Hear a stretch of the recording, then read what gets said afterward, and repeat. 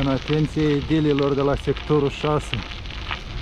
Băi, dragilor și dragilor, am crezut că asta a fost o soluție provizorie până vin alegerile. Ați vrut să lansați parcul liniei ca rezultat electoral. Dar acum alegerile au trecut și voi tot lăsați nisipul ăsta în bătaia vântului. Să fac nori de praf aici în parc, în centrul capitalii. La 437 de kilometri de Ungaria. Nu vreți să băgați asfalt, să băgați orice? Numai nu nisipul ăsta, oameni buni.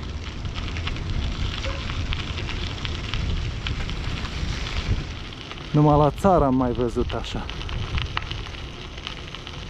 Colb ca în sat.